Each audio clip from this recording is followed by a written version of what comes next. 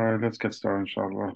إن الحمد لله نحمده ونستعينه ونستهديه ونستغفره ونعوذ بالله من شرور أنفسنا وسيئات أعمالنا من يهدي الله فلا مضل له ومن يضلل فلا هادي له وأشهد أن لا إله إلا الله وأشهد أن محمدا عبده ورسوله So this week uh, we talk about seasons of goodness or seasons of khair. The, the Arabic word is khair which is translated in English roughly to the word goodness. Um, and really, what we want to discuss is what are the seasons of goodness? And also, we want to touch base that Ramadan is the greatest season of goodness. And also, that we want to be aware of fake or innovated uh, seasons of goodness. And inshallah, we will, uh, from that, we will uh, uh, try to understand or like have a better understanding of uh, our deen, inshallah. So sometimes shaitan deceives us through our own selves or through others. So that's why we always need to go back to the basics. What did Allah subhanahu wa ta'ala tells us in the Quran? What did the teaching of the Prophet, the, the authentic sunnah, tell us? What did the companions uh, understand and how they implemented the commands of Allah subhanahu wa ta'ala and the teaching of the Prophet sallallahu What did the scholars say and how did they explain certain aspect of our deen? Allah subhanahu wa ta'ala says in uh, Surah Al-Hashr, وَمَا آتَاكُمُ الرَّسُولُ فَخُذُوهُ وَمَا نَهَاكُمْ عَنْهُ فَانْتَهُوا وَاتَّقُوا اللَّهَ إِنَّ اللَّهَ شَدِيدُ الْعِقَابِ Whatever the Prophet ﷺ gives you, then take it. And whatever He forbids you from, leave it. And fear Allah and be conscious of Allah subhanahu wa ta'ala. Surely Allah subhanahu wa ta'ala uh, um, has a severe punishment. So surely the, the punishment of Allah subhanahu wa ta'ala is a severe punishment. Now, in another ayah, Allah subhanahu wa ta'ala in Surah Muhammad, Allah, Allah subhanahu wa ta'ala says, Ya أيها الذين آمنوا أطيعوا الله وأطيعوا الرسول ولا تبطلوا أعمالكم. O believers, obey Allah and the Messenger, wasallam, and do not let your um, deeds be in vain. Do not let your deeds be nullified, basically. So, how can one nullify their own deeds? Is, for example, if they come up with something new in the religion, they think they are doing something good, but they are inventing something new in the religion. So they are doing deeds that are completely nullified.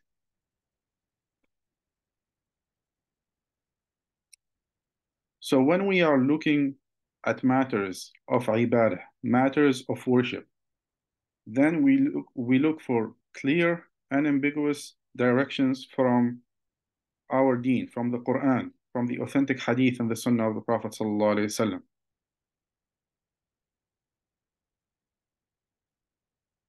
Why? The number one reason is this ayah, is we don't want to nullify our deeds, right? Allah subhanahu wa ta'ala also says in Surah An-Nur, verse 54, قُلْ أَطِيعُوا اللَّهَ وَأَطِيعُوا الرَّسُولَ فَإِن تَوَلَّوْا فَإِنَّمَا عَلَيْهِ مَا حُمِّلْ وَعَلَيْكُمْ مَا حُمِّلْتُمْ That obey Allah and obey the Messenger sallallahu alayhi wasallam. But if you turn away, then he is only responsible for his duty, which is delivering the message and you are responsible for yours, which is did you listen to the, the message of the Prophet ﷺ or not? Did you implement what he said or not? He's not responsible that you do implement his teachings or not. You are responsible for that. He's only responsible for delivering the message as he got it, sallallahu alaihi wasallam. And if you obey him, you will be rightly guided. وَإِن تُطِيعُوهُ تَهْتَدُوا If you obey the Prophet sallallahu alaihi wasallam, then you will be rightly guided the messenger's duty is only to deliver the message clearly. So the if if we had any doubt, this ayah spells it clearly that the message the, the responsibility of the Prophet his duty is to deliver the message. Whatever happens after that is really our responsibility. Whether we implement, whether we obey, whether we go astray, it's our responsibility. Then we want to close the door of the shaitan. Because sometimes one of the doors of the shaitan is I am doing it out of love. My love for Allah, for the messenger, is leading me to do this extra act that have no basis in the deen. So Allah first tells us in Surah Al-Ma'idah, اليوم أكملت لكم دينكم وأتممت عليكم نعمتي ورضيت لكم الإسلام دينا. Today I have perfected your faith for you, completed my favor upon you, and chosen Islam as your way. So in other words, there is nothing we can make up that can complete the deen because the complete is the deen is complete. There is nothing extra that we can do that the Prophet ﷺ didn't do that we can attribute to the deen because the deen is complete, the religion is complete, the acts of worship are complete, the teachings are complete. So there is nothing missing there. And if we come up with something and we say, this is I this is part of the deen, even though the Prophet ﷺ didn't do it, it's as if we are accusing the Prophet ﷺ of not giving us the full deen, that he left some parts, did, and didn't deliver them to us. And we seek refuge in Allah subhanahu wa ta'ala from, from saying so or thinking so. Then, as I said, out of love, the claim is, I'm doing this out of love for Allah, for the Prophet sallallahu then Allah subhanahu wa ta'ala shuts the door in Surah Ali Imran, verse 31, where Allah subhanahu wa ta'ala says, If you love Allah, قل إن كنتم تحبون الله فاتبعوني يحببكم الله ويغفر لكم ذنوبكم والله غفور رحيم. Say, O Prophet, if you sincerely love Allah, then follow me. So tell them, Ya Rasulullah, tell them, O Prophet of Allah, if you sincerely love Allah, then you need to confirm that with actions. And that action is to follow the Prophet ﷺ. And if you follow the Prophet ﷺ, then Allah will love you and will forgive your sins. For Allah is all forgiving and Allah is the most merciful. So it's very clear that your love for Allah has to be followed up with actions. And that action is to follow the teaching of the Prophet. ﷺ. That's the confirmation. That's how we can confirm that we are loving Allah subhanahu wa ta'ala. We cannot claim we love someone if we don't obey them, if we don't follow them. Now, the thing is, sometimes you might come up with the argument and say, you know, I you know, I love my parents, for example, but sometimes I don't obey them because I think maybe like they are not, they don't understand the deen properly. You know, you're debating with them a matter, matter of the religion, and you know the authentic way of doing it, and they don't know, they didn't have the right teaching. So they tell you do this. You say, no, like, I'm not going to obey you on this because I know the hadith XYZ in Bukhari and Muslim says this. So I love them, but I'm disobeying them. Here, the point here is Allah subhanahu wa ta'ala. And then the Prophet sallallahu alayhi wasallam, we know, we have no doubt, there, there is no uh, chance, you know, it's unequivocal in the deen that Allah and the Messenger would lead us to something wrong would give us a command for something wrong. So here, the, the point that is being made is that if we love Allah subhanahu wa ta'ala, then we have to follow the Prophet ﷺ, because whatever the Prophet ﷺ is telling us is coming directly from Allah, is pure. There is no imperfection in it. This is pure teaching from Allah subhanahu wa ta'ala through his messenger, sallallahu alayhi wasallam.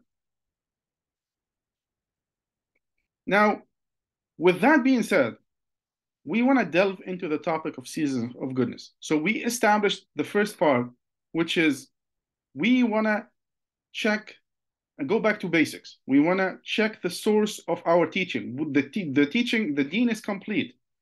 And there is nothing that we can add that was not conveyed by the Prophet. ﷺ. There's nothing we can make up and attribute to the deen because the deen is complete. And then if we claim to love the Prophet ﷺ, and that's why we're doing X, or we love the Prophet وسلم, and we're doing Y, we can only truly love the Prophet وسلم, and love Allah if we follow the Prophet وسلم, the teaching, the true teaching of the Prophet. وسلم. So that's even established by the Quran. So, what are seasons of goodness? There are special times and places that Allah subhanahu wa ta'ala designated where more rewards are warranted for good deeds and the opposite for bad deeds meaning a, a higher or more severe punishment is for uh, is warranted for sins so for example in terms of places the praying in mecca is equivalent to 100000 salah somewhere else. Praying in the uh, the the uh, um, uh, the mosque of the Prophet sallallahu alaihi wasallam, same thing. A thousand salah somewhere else. How about the times? So there are times in the year that Allah subhanahu wa ta'ala designated that more rewards are warranted in those times. For example, the easiest one is the first 10 days of the Hijjah. The Prophet ﷺ says, There are no 10 days, there are no day, days greater and more beloved to Allah than these 10 days of the Hijjah.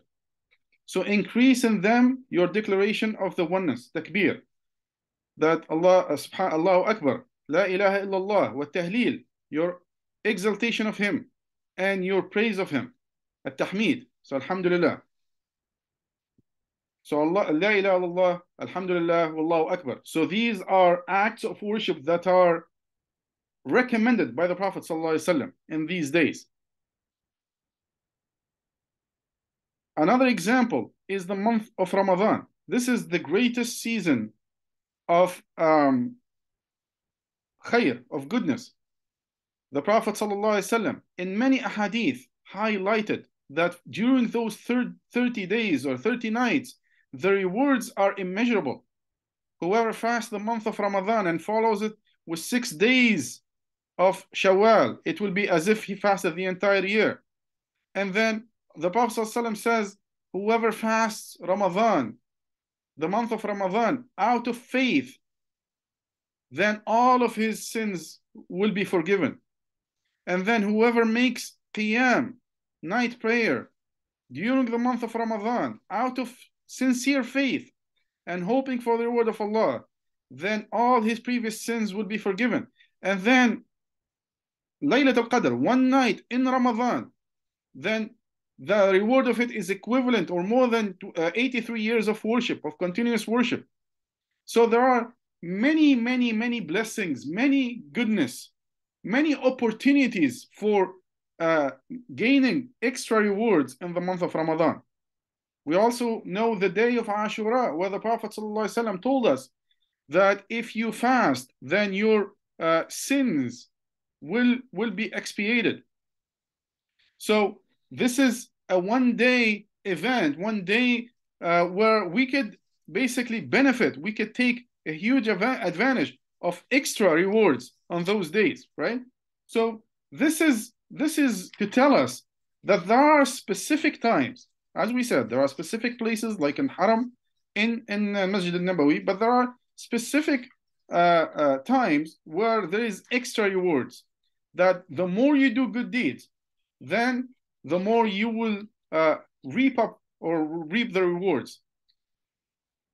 And that's why in those times, we are encouraged to race, to hasten, to gain more rewards from Allah subhanahu wa ta'ala. Allah subhanahu wa ta'ala says in Surah Ali Imran, وسارعوا إلى مغفرة من ربكم وجنة عرضها كعرض السم... عرض عرضها عرضها السماوات والأرض أعدت للمتقين that hasten towards forgiveness from your Lord and a paradise that is as vast that is as vast as the uh, heavens and the earth prepared for those mindful of Allah.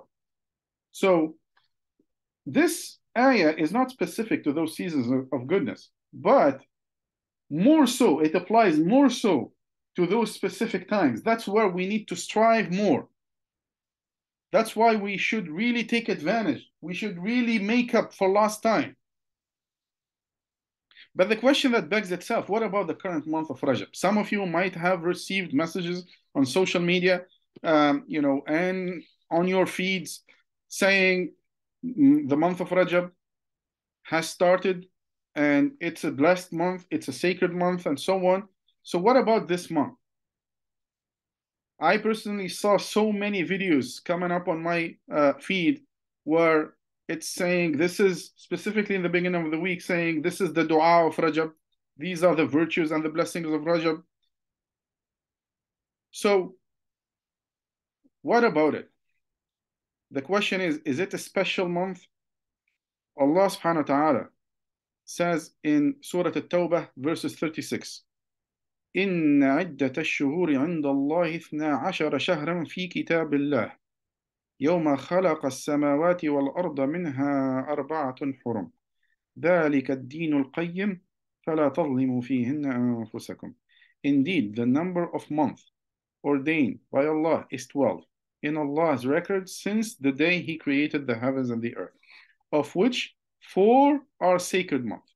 So four of those months, so four of the out of the 12 are sacred months. So which what are these months? How do we know which one they are? This is uh, clarified in an authentic hadith of the Prophet where the Prophet is detailing as well that the year is 12 months and then we have four sacred months. One of them is Rajab and it's separate, and three of them are contiguous, and those are Dhul Qa'dah, Dhul Hijjah, and the month of Muharram. So this is established by the Prophet ﷺ. He, he specified which months they are. So the question here is what is special about the month of Rajab specifically? And what can you and cannot do in the sacred month? First of all, why these months are called sacred? Because um, fighting was forbidden during these months, except for self defense. And one of the biggest reasons for it is, for example, if you think about the month of Dhul Qa'dah, Dhul Hijjah, and Muharram, those are months, Dhul Hijjah is in between those two months of Dhul Qa'dah and Muharram. So people, a lot of people will be moving and traveling to perform Hajj. So forbidding fight, fights during that period will secure the Hajjaj. So think about it now it's easy. You could fly within, you know, few hours. Uh, before it used to take weeks to reach Mecca. So you want the area surrounded. You want the whole area to be safe and secure so that people can leave weeks ahead and then come back weeks after without um, fearing for their lives.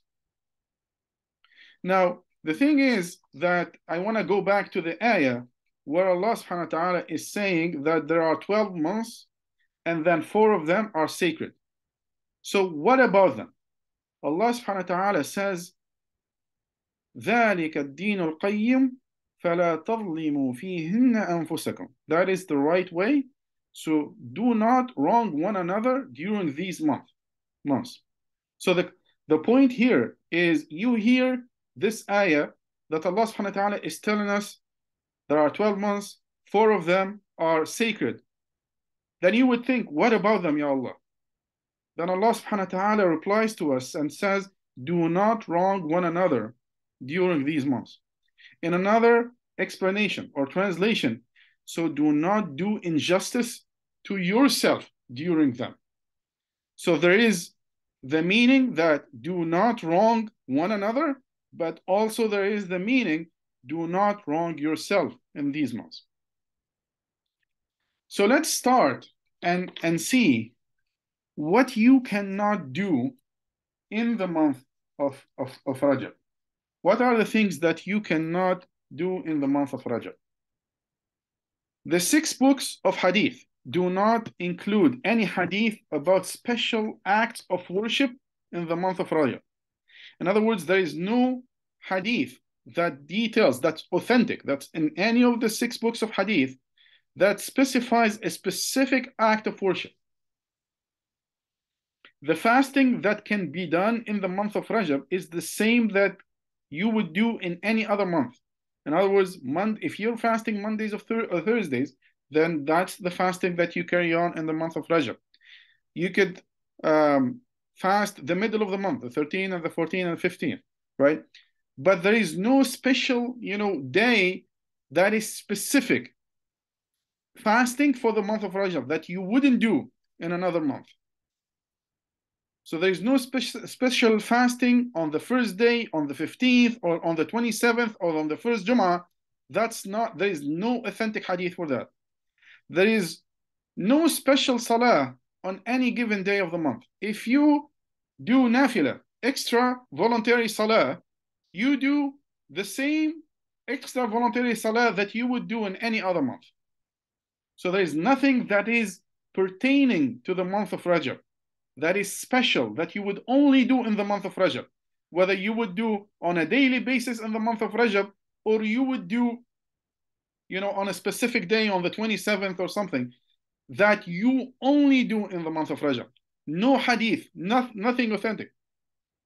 So uh, uh, one salah that is called Salat al-Raghaib is one of the innovations that is related or that is introduced in the month of Rajab that has no basis whatsoever in the hadith of the Prophet ﷺ.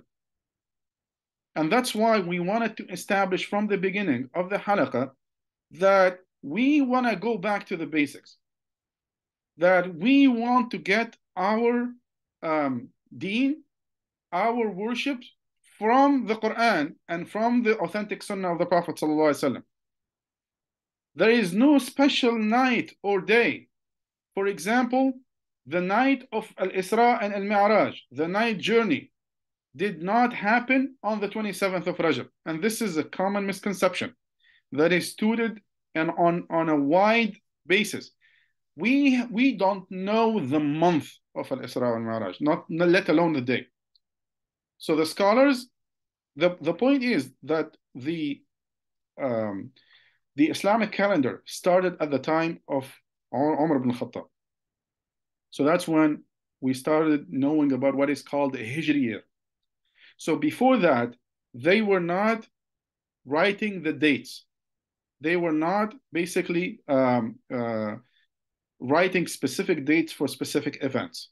So specifically, the night journey, Al-Isra, where the Prophet ﷺ traveled by night from uh, Mecca to uh, Jerusalem, and then Al-Mi'raj, which is he, where he was ascended to the seventh heaven.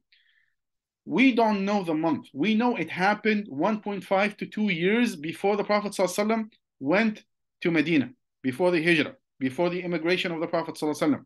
But we don't know the month. So let alone the day. So if somebody comes to you and says it happened on the 27th of Rajab, then that's inconceivable. Now, the scholars, they even talk that if, if there is any month that maybe there may be some some consensus. And subhanAllah, that's not even a strong consensus. It could be Dhul Qa'dah. So it has no relation with the month of Rajab. So if we take with that, let's say it's Dhul Qa'dah, we don't know the day. There is nothing, no basis. We cannot say it's the first or the second or the 10th or the 27th. So if somebody starts saying, you know, let's start talking about Al Isra al Ma'raj in the month of Rajab, and then let's do something special on the 27th of Rajab, that has no basis whatsoever in the Sunnah of the Prophet. There is nothing special on the first day of Rajab or on the first Jum'ah of Rajab. Nothing. There is no special dua. One was something that, subhanallah, um, that popped up on on uh, you know for me on YouTube on the first day of Rajab, where it says like the special dua of Rajab on the first day of Rajab. There is no special dua whatsoever in the authentic sunnah of the Prophet. So people might have invented something, they might have um, you know, came up with something, but in the authentic sunnah of the Prophet there is no such thing whatsoever. There is no special vis visits to the graves as well. Some people in the month of Rajab, they think that it's, you know, blessed to go and visit the graves in the month of Rajab. There is no no basis to that whatsoever. So whatever you, you know uh, visiting your loved ones the people have died in in um, in any month or in Rajab has nothing there is no difference in between them there is no special umrah in Rajab as well it doesn't have any specific virtue there is no authentic hadith from the Prophet ﷺ that says umrah is uh, more um, rewarded or you know it's better to do umrah in the month of Rajab now, the interesting thing is we have authentic in Bukhari account from our mother Aisha saying that the Prophet ﷺ never made Umrah in Rajab. So, yani, subhanAllah, we actually have the opposite. It doesn't, yani, subhanAllah, the Prophet ﷺ is not saying don't go in Rajab, but they, he, if he, there was extra reward, he would have told the companions to do Umrah in Rajab specifically. Now, if you get a nice deal for Umrah that happens to be in Rajab, Alhamdulillah. Yani if you plan to go and it's not your intention because it's Rajab, if you know if the uh, travel agent says you know what? We have a problem with the flight. We have to delay it by another week and then it becomes outside of rajab and then you say no no i'm not going you know then that's a problem right? Like but if you just planned and it happens in rajab alhamdulillah you know go. So it's not like to make it difficult it's not to make it stingy but it's to make sure that you're not coming up with something that has no basis like your intention here what is it? You're going for Umrah, Alhamdulillah, you got a good deal. But if you're going for Umrah because it's in Rajab, that's the problem, basically. Ibn al-Qayyim says the Prophet ﷺ did not fast for three consecutive months, Rajab, Sha'ban, and Ramadan, as some people do. So this is something that's been flagged by Imam Ibn al-Qayyim, who's saying some people might be doing continuous fasting from Rajab to Sha'ban, and they add to it Ramadan. So he's saying the Prophet ﷺ, he never did that at all, and he never fasted Rajab at all. When he says he never fasted Rajab, he's not saying he didn't he never fasted any day in Rajab. So he never fasted the whole month of Rajab, nor did he encourage uh, people to fast the whole month of Rajab. So this is what Ibn al-Qayyim uh, is saying. So apparently that was a case that was presented to him, and that's why he had to refute this. Umar ibn al-Khattab, yani we have this account that is um, uh, authenticated by Al-Albani. Sheikh Al-Albani is saying that Umar al-Khattab used to force some people from, uh, you know, basically he forced them away from fasting. He forbade fasting for them. And he uh, used to say that this is a month that was venerated in Jahiliyyah. Now the thing is, is that he might have known that those people used to venerate Rajab in Jahiliyyah, so he used to force them to not do that in uh, you know um, uh, after Islam, so that so that to to remove the disconnect because Rajab, the month of Rajab, used to be venerated a lot in the Jahiliyyah days. So he was trying to cut between that pagan tradition and uh, the teaching of Islam. He was trying to make a distinction. Al Hafidh ibn Rajab wrote a whole book that is called Tabayyun al uh, Ajab Bima uh, Warada fi Fadli Rajab. And the title of the book, Tabayyun al Ajab Bima Warada fi Fadli Rajab, in other words, um, depicting the, um, the strange, this is the title of the book, de- de- depicting the strange actions uh, that are being attributed to the virtue of the month of Rajab. So he wrote a whole book and he said there is no Sahih hadith, there is no authentic hadith that may be used as evidence um, and that has been narrated concerning the virtues of the month of Rajab, whether fasting or fasting any the whole month or any specific uh, part of it, or observing Qiyam al-Layl, meaning night prayer specifically during this month. Um, so, uh, and then he said, uh, Imam Abu Ismail has already stated this before me, and we have narrated this from others as well. So, uh, Hafid ibn Hajar lived uh, uh, seven centuries after the Hijrah. So he addressed this in a book because it was becoming widespread that people were doing strange things in the month of Rajab and attributing it to the virtues of the month. And he was saying there is no authentic hadith whatsoever that is pertaining to this. So, as I said, no special night and day, no, uh, subhanAllah. Um, so, what can you do? So, it's very clear that there is no authentic hadith what can you do in the month of Rajab that will not cause you to be, uh, subhanAllah, uh, innovating or doing bid'ah or, you know, uh, adding something extra the, uh, to the deen that can cause you to be in, in greater danger. Uh, use the month of Rajab as a time to review. The order is clear in the Quran. The ayah is clear. When Allah subhanahu wa ta'ala told us about the sacred months, He said, What do you do? You do not wrong yourself or others. So take this time to review your relationship with others, your relationship with Allah. Are you transgressing against yourself? Meaning, are you leaving some of the duties? Are you disregarding some of the teachings of Allah subhanahu wa ta'ala? Are you being heedless? Are you completely obliv oblivious of what you should be doing? Are you what, what are your priorities? Are you focused in the wrong way? on the wrong things? Is Allah subhanahu wa ta'ala is not your number one priority? Is your connection, is your relationship with Allah subhanahu wa ta'ala your number one priority? Or you got other priorities that are competing or relegating that priority? Is it the priority number one or number five or number 10? Where is it? This is a time to reflect because if that's not priority number one, then we are wrong in ourselves. What is your relationship with others? So it doesn't mean that we could wrong others and ourselves in other months, but this is Allah subhanahu wa ta'ala is giving us these, these months, these kind of checkpoints so that we can stop and reflect.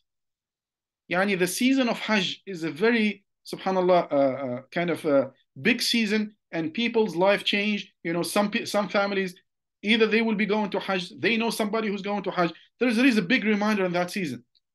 But outside of the season of Hajj, there is the month of Rajab, which is a couple of months before Ramadan, before a big season of goodness. So it's a good time to stop a couple of months of Ramadan and review what kind of issues do I have my, with my neighbors? What kind of issues do I have with my brothers and sisters? What kind of issues I have with my family? Am I wrong in them?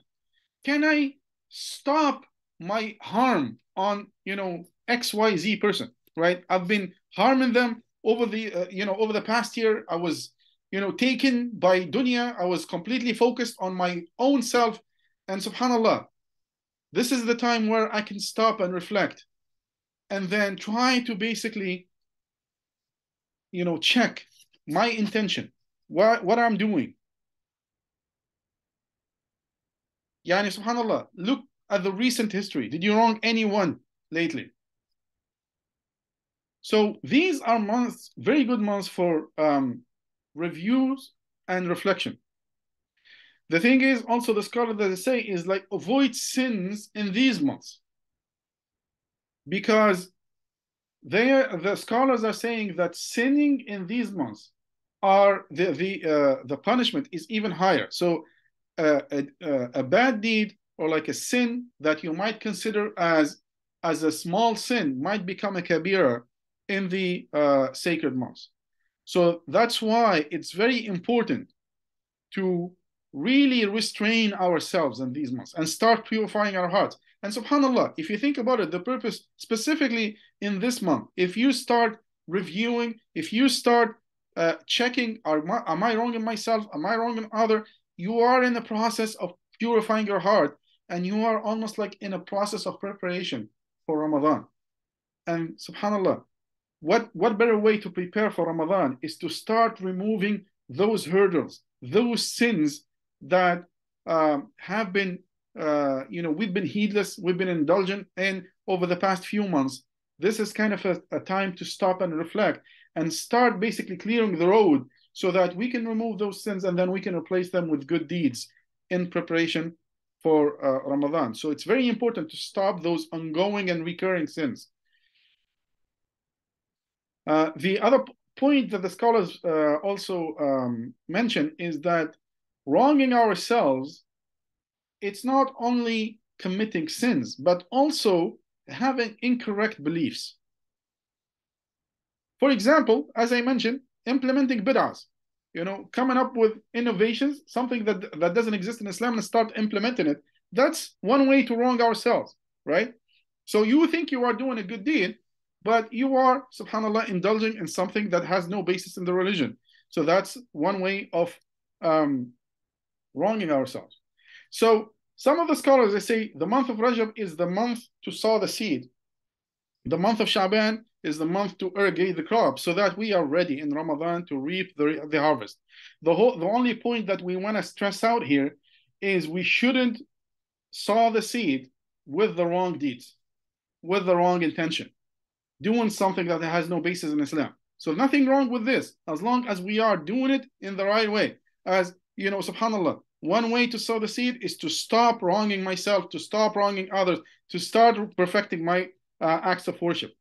So, taking the time to improve one's prayer, to improve one's khushu', one's concentration, to pray on time, to pray in the masjid for the brothers, uh, praying in congregation. So, those are actions that are not linked to the month of Rajab, that we should strive to do them, and nothing wrong that this is a time, this is a sacred month. Allah subhanahu wa ta'ala is telling me, don't wrong yourself. So I stop and reflect, and then I start reviewing my prayer, and then I noticed I don't have enough khushu'. Then I'm gonna start working on that. And that's an act an action that I'm trying to carry on from now on. It's not gonna stop by the end of the month of Rajab.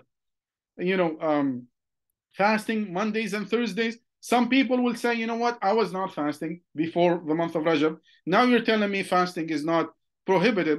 Then I'm not gonna fast in the month of Rajab. But what if you want to start fasting Mondays and Thursdays? Like you just started and said, you know what, I I am in a sacred month. I am uh, reviewing myself. I want to implement uh, Mondays and Thursdays fast, and I want to carry that on. Nothing wrong with that, as long as you don't come on the 30th of Rajab and say, you want, that's it, I'm done.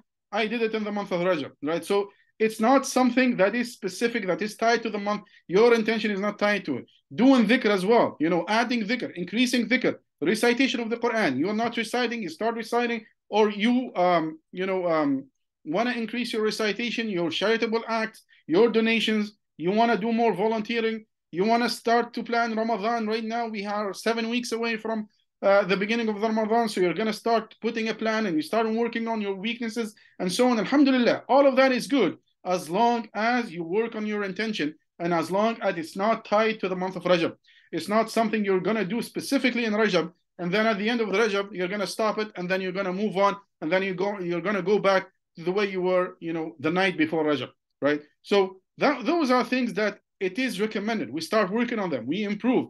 It's a it's a journey. It's a lifelong process. It's something that we should be doing on a month, uh, on a yearly basis, like for the whole year. But if you know, Alhamdulillah, you know, Rajab started. You you know, Subhanallah, you got the reminder. This is a sacred month. I should not wrong myself. I should not wrong others. I'm gonna start working on myself. Alhamdulillah, khair. As long as your intention is clear and then you start working on it. Now, the scholars say, um, what is the one top things that we always indulge in that it comes under the umbrella of wronging our oneself? And subhanAllah, they highlight specifically the tongue. That it is our worst enemy in this day and age, specifically with uh, the social media. Yani subhanAllah, right now, all those uh, hadith and those narrations, the authentic narrations from the Prophet ﷺ, that are pertaining to the dangers of the tongue apply to what you write and what you say and what you like and what you share on social media as well. So the impact is becoming exponential. That's that, that's the problem right now. That you see that um, you know people um, would be you know hurting others. They will be shaming others. They will be slandering others. They will be cursing and putting down people. And some people, even they can, you know, put people down to the point that on the other side, somebody halfway around the world, they can go and commit suicide because of what they told them on social media. So the impact of what we are doing in social media is exponential. Sometime before, you know, you before the era of social media, and so on, you could say something about someone, a slander or a backbite. You're going to tell it to a physical person in front of you. And that physical person might spread it in the school, in your school, right? Like, let's assume you go to school. So they might spread it in a school where there's like 200 students, 500 students, whatever, right? Right now, you put it on social media, it's going to go to millions of people sometimes. So the impact is exponential. If you're doing something good, the impact is exponential. If you're doing something bad, the impact is exponential. So that's why the scholars they highlight this as one of the things to work on to not wrong ourselves. The number one thing to review, the Prophet ﷺ, in a hadith that is narrated by Abu Huraira, that all of you know, where the Prophet ﷺ asked the companions, Do you know who is the bankrupt? And then the companion said, The one who hasn't uh, money or mata' or properties. Then the Prophet ﷺ said, No, that's not what I mean. The real bankrupt of my ummah is the one who comes on the day of uh, resurrection. He has salah, he has uh, uh fasting, he has charity, he has all those kind of good deeds. But he will find himself bankrupt because he reviled others. He basically attacked others. He took the wealth of others. He shed the bloods of others. He beat others. He hurt them with his tongue. Subhanallah, the easiest sin that he could do, subhanallah, is say something and then it will hurt others. So his good deed will be distributed to others. And then those people that he wronged, that he harmed, they will come one by one. They will get his good deed. And then when his good deeds are depleted, then they will take their bad deeds and then they will put, put them on him and then he will be thrown in the hellfire. Why? Where does it start? What's the easiest sin that can lead to this? Is what we say and what we write on social media. In another long hadith that I shared with you before, that is a discussion between the Prophet وسلم, and Mu'adh ibn Jabal. The Prophet وسلم, is telling Mu'adh ibn Jabal about uh, ibn Jabal about the doors of goodness in Islam. And he was telling him about you know fasting and praying the night and so on and so forth. And then the Prophet ﷺ tried to summarize it for him at the end of the hadith. So I'm just sharing with you the end of the hadith, where the Prophet ﷺ said, Should I not tell you about the head and the support of the matter and the top of its hump? Should I just give you the summary of this? So Mu'adh said, Of course, Ya Rasulullah. So the Prophet said, The head of the matter is, is Islam. Its support is Salah. And the top of its hump is Jihad. So then uh, the Prophet said, Shall I not inform you of the controlling of all that? What does control all of that? Subhanallah. Then Mu'adh said, Of course, Ya Rasulullah, let me tell me. So the Prophet took his tongue and then he said, Restrain this. So Mu'adh was surprised. He said, Ya Rasulullah, shall we really be punished from what we talk about? Then the Prophet ﷺ said, ثكلتك أمك يا معاذ which is a statement in Arabic that shows the surprise of the Prophet ﷺ that Mu'adh didn't know this. So he said, I'm surprised that you, Mu'adh, will anything but, but the harvest of the tongues overthrow men in hell on their, their faces? So anything, will anything but the harvest of the tongues. Included in that is what we do in social media. Subhanallah. So it can be really something that will take us to the highest level or something that will drop us um, to the low, lowest pits of uh, hellfire. And it's just something as easy as what we utter with our own mouth. So the question to you is Will you give your hard earned money to someone who does not deserve it? Yani, let's imagine in this life, somebody you know, you have a neighbor who is squandering his money, he's gambling, you know, he's he's always drunk, he's irresponsible, he's not taking hold of his life, and he comes to you and he says, you know what, I want to borrow five thousand dollars. You know he's gonna take the money and he's gonna go and gamble, gamble with it. Would you give him your hard-earned money? And you know he's not gonna give it back. Yani all of you will say easy. No, I will not give him anything. Subhanallah. The thing is, is we are willing to give away the most valuable possessions that we have on the day of judgment to people that we completely disregard, disregarded in this dunya. Some, some of the people that will be stepping in on the day of judgment and they will be taking our most valuable possessions, which is our good deeds, are people who we hated the most in this dunya. Subhanallah. That we wouldn't give them a dollar in this dunya, but we are willing to give them our most valuable possessions on the day of judgment. Subhanallah. Just because we couldn't restrain our tongues. Just because our ego stepped in the way. Just because we couldn't, you know, not say whatever we said in social media and whatever, right? So we just need to put things in perspective, subhanAllah. So we we need to take advantage of these seasons of goodness so that we can hasten in repentance. Allah subhanahu wa ta'ala says, يا أيها الذين آمنوا توبوا إلى الله توبة نصوحا عسى ربكم أن يكفر عنكم سيئاتكم ويدخلكم جنات تجري من تحتها الأنهار يوم لا يخزي الله النبي والذين آمنوا معه نورهم يسعى بين أيديهم وبأيمانهم يقولون ربنا أتمم لنا نورنا واغفر لنا إنك على كل شيء قدير Allah subhanahu wa ta'ala says, O believers, turn to Allah in sincere repentance. So your Lord may absolve you of your sins and admit you into gardens, under which rivers flow.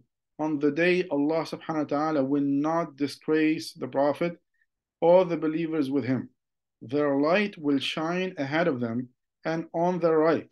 They will say, Our Lord, perfect our light for us and forgive us for you are truly most capable of everything.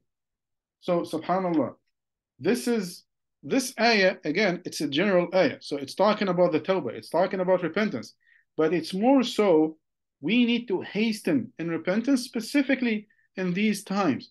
In the sacred month, Allah subhanahu wa ta'ala is telling us, don't wrong yourself, don't wrong others. So we stop, we review. If we, subhanAllah, establish, and all of us, you know, we are wronging ourselves in one way or the other, then we stop and then we do repentance to Allah subhanahu wa ta'ala. We go back to Allah and then we fulfill the conditions of the repentance where we stop whatever sin, whatever act that we were indulging in.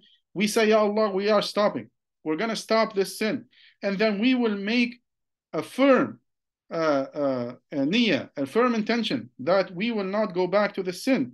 And then we will feel remorse. We will feel pain. So basically, that's the most important part is that when we review, when we do this session where we sit down and review, then we will feel the pain is how can how come the remorse how come i did this how come and then we feel that pain in the heart that's when our repentance will be accepted that's the most important condition because as i said before is we could be sitting in the corner and then we could be saying astaghfirullah astaghfirullah astaghfirullah astaghfirullah while we are holding the phone and then we are scrolling through our social media. So the tongue is there, the heart is not there. Subhanallah. The uh, complete repentance is that when whatever we are saying with the tongue is also felt by the heart. Subhanallah. Yani, if um, one of the scholars yani, presented it very well, if I sit in front of you, if I say something wrong to you, and then I sit in front of you and then I tell you I'm sorry, I'm sorry, I'm sorry, I'm sorry, I'm sorry, I'm sorry, I'm sorry, like a thousand times. Wouldn't you be more mad? And you would you be telling me like that's not sincere, subhanAllah. But that's what we do with Allah subhanahu wa ta'ala. Is we sit there and then we say, astaghfirullah, astaghfirullah, astaghfirullah, astaghfirullah, and then we say it a thousand times in the most and the fastest way without even meaning any of it. Subhanallah. So it's it's the process of, you know, take it in all in and then feeling what we are doing and then establishing that in the heart we committed something we we wronged ourselves we wronged others and then this is the time to stop to think about it to reflect upon it to uh, feel some pain and remorse because we did it and then start a new page saying ya allah i'm stopping it i'm not going back to it and then i do it before uh, you know uh, i die before death subhanallah or before the end of times, subhanAllah. And then part of that is that if I transgressed about against some something someone else, if I wronged someone else, if I took the right of someone else, then I go and then I give them back the right their rights if I can. So if the possibility is there to give the rights to people, uh, then I should do everything possible to be able to do that. Subhanallah. So those are the conditions of the repentance. The last question I want to ask you is Do you want to risk being turned away from the Prophet? The reason why I'm asking this question is because um, because of why you know the reason I started with this halaqa is sometimes we get in a, a, fake seasons of goodness. Sometimes people or like shaitan or ourselves, others, we get deceived into doing things that have no basis in Islam and then we would start coming up with excuses that my you know xyz person my ex sheikh my uh, you know um, uh, family my forefathers whatever they were doing this so i'm going to do this Um, and subhanAllah, or like I'm doing it because I love the Prophet sallallahu alaihi wasallam. I love Allah and His Prophet, and that's why I'm doing this. Subhanallah.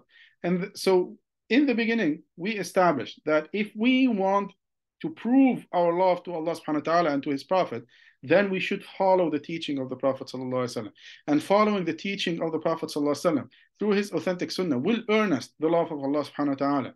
So we really we don't want to take the risk of being turned, turned away by the Prophet when we would be rushing. We would be in a position to be rushing to the Prophet sallallahu to hug him, to meet him for the first time. And then instead of doing that, we will be taken away. There will be angels taking, taking us away. May Allah protect us from that outcome.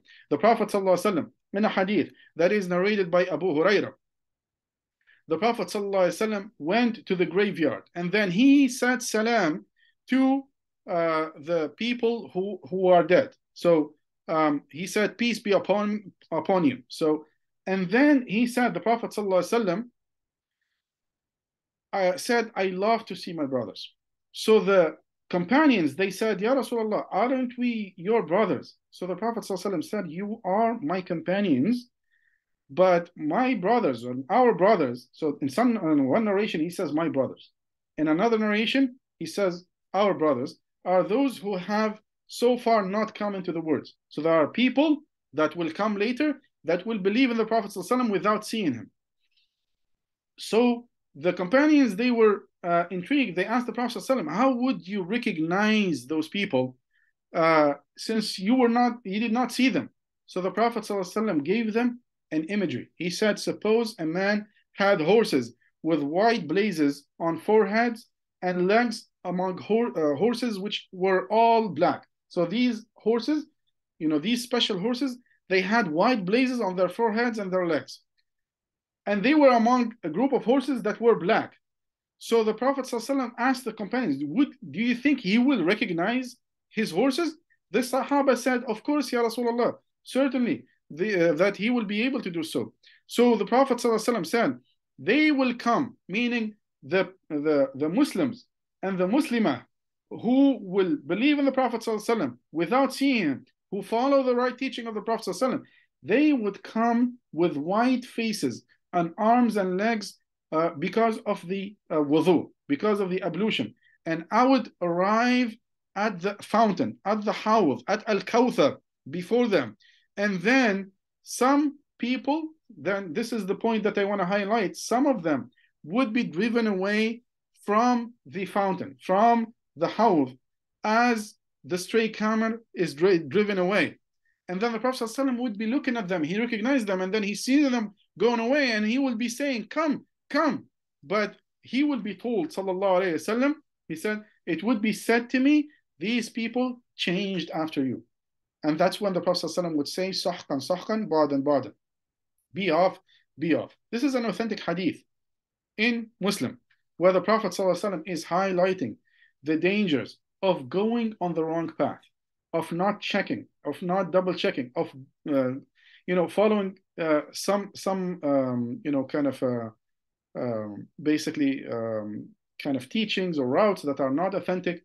That subhanallah, following our own whims and desires when it comes to matter of religion. That's why in the matters of religion, we need to go back to the authentic. Do we have any authentic hadith? And if somebody, if you are doing something, you know, that is not authentic, that has no basis in Islam, and somebody comes to you and presenting you with an authentic narration from the Prophet ﷺ, with the clear proof, then we should say, Sama'na wa atana. We obey what the Prophet ﷺ is teaching us. As soon as we receive authentic explanation, an authentic hadith from the Prophet ﷺ, and it, it's made very clear, then Alhamdulillah, that's it. We should not let anyone deceive and drive us away from the teaching of the Prophet ﷺ. And I'll take you back to the ayah that I started with, ayah uh, 31 in Surah Ali Imran. قل إن كنتم تحبون الله فاتبعوني يحببكم الله ويغفر لكم ذنوبكم والله غفور رحيم. Say, O Prophet, if you sincerely love Allah, then follow me. Allah will love you and forgive your sins, for Allah is all forgiving most merciful. Subhanallah. Allah subhanahu wa ta'ala inherently loves us.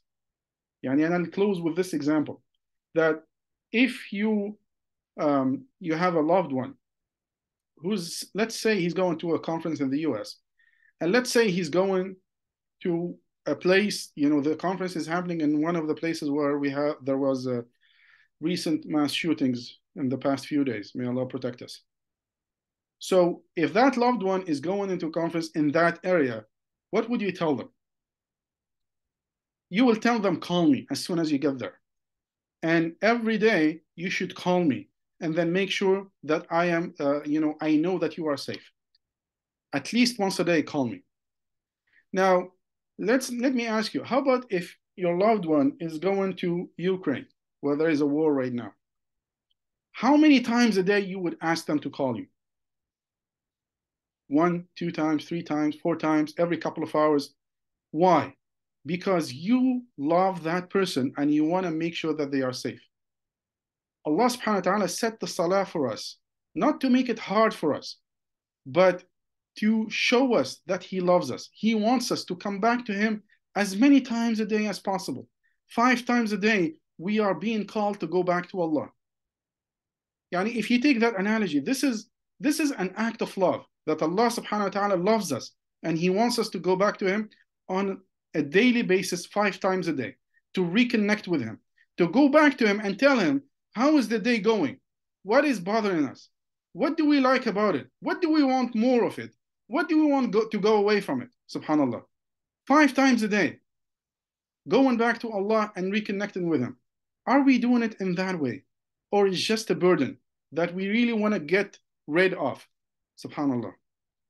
Again, let me remind you if we love Allah subhanahu wa ta'ala, we should follow the teaching of Allah, of the Prophet. That's how we affirm that we love Allah subhanahu wa ta'ala.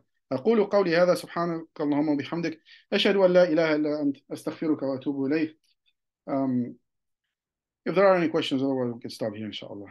جزاكم الله خيرا for your time.